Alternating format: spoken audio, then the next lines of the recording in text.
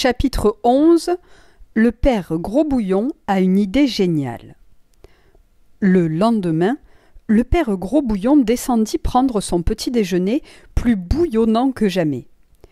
Je n'ai pas fermé l'œil de la nuit, s'écria-t-il. Je ne pensais qu'à ça. À quoi? lui demanda Georges. À cette potion magique, bien sûr. Il ne faut pas s'arrêter là, fiston. Nous devons en fabriquer davantage, des litres et des litres. Georges avait tellement donné de potions aux moutons, aux cochons, aux vaches et aux bœufs que l'énorme chaudron était complètement vide. Pourquoi davantage, papa? demanda Georges. Tous nos animaux sont devenus gigantesques. Grandema est aussi fringante qu'un coursier, si bien qu'elle a dormi dans le foin. Cher fiston, s'exclama le père Grosbouillon, il nous en faut des tonneaux et des tonneaux, des tonnes et des tonnes. Nous en vendrons aux agriculteurs du monde entier, afin qu'ils élèvent des animaux géants. Nous allons créer une usine de potions magiques, et nous, vendrons chaque bouteille cinquante francs.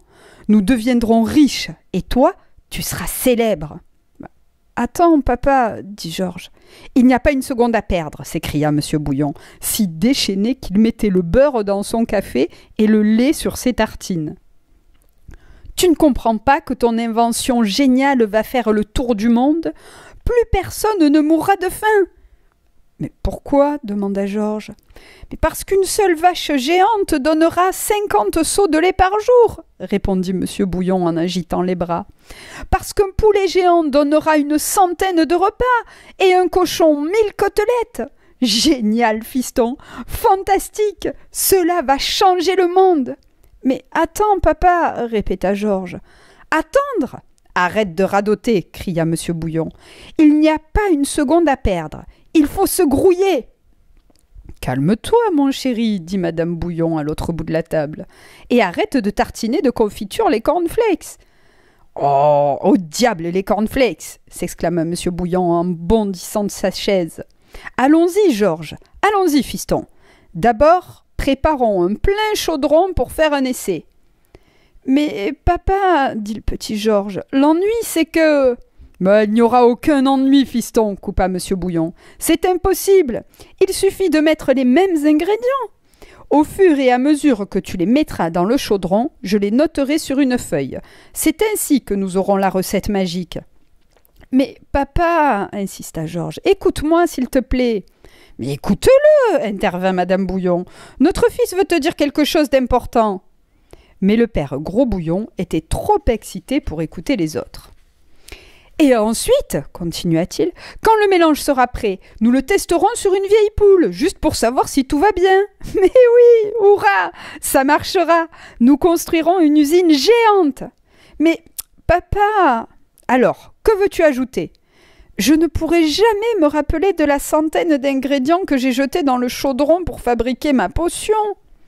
Mais si, cher fiston, cria M. Bouillon, je t'aiderai, je te rafraîchirai la mémoire et tu la retrouveras, va.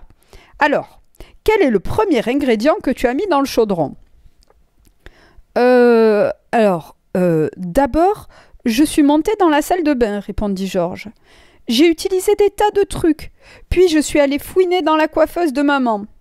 Allons-y donc cria le père Grosbouillon. Montons dans la salle de bain. Une fois là-haut, ils trouvèrent bien sûr des tas de tubes, de bombes et de flacons vides. Magnifique, fit M. Bouillon. Voilà ce que tu as utilisé. Nous sommes sur la bonne piste. Il suffit de noter tout ce qui est vide. M. Bouillon se mit à noter la liste des flacons, des bombes et des tubes de la salle de bain, puis celle des produits sur la coiffeuse. De la poudre poreuse, de la laque, du parfum fleur de navet. Terrible, c'est facile. Et ensuite, où es-tu allé? À la buanderie, répondit Georges. Mais es-tu sûr que tu n'as rien oublié, papa? Bah, si tu n'as rien oublié, moi non plus, dit M. Bouillon. Hmm, je l'espère, dit Georges. Ils descendirent à la buanderie et M. Bouillon nota le nom de tous les paquets et de toutes les boîtes vides. Vingt Dieu s'écria le père. Tu en as mis des trucs. Pas étonnant qu'elle soit magique, ta potion. Est-ce tout? Oh non, papa, ce n'est pas tout.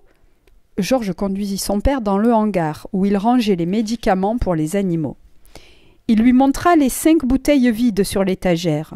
Monsieur Bouillon en prit note. Et quoi d'autre? demanda Monsieur Bouillon. Le petit Georges se creusa la cervelle. Il avait beau réfléchir, il ne se rappelait plus ce qu'il avait ajouté d'autre. Le père Gros Bouillon sauta dans son auto et courut acheter de nouvelles bombes, de nouveaux tubes, de nouveaux flacons, de nouveaux paquets, de nouvelles boîtes. Puis, il se rendit chez le vétérinaire et acheta les médicaments pour animaux.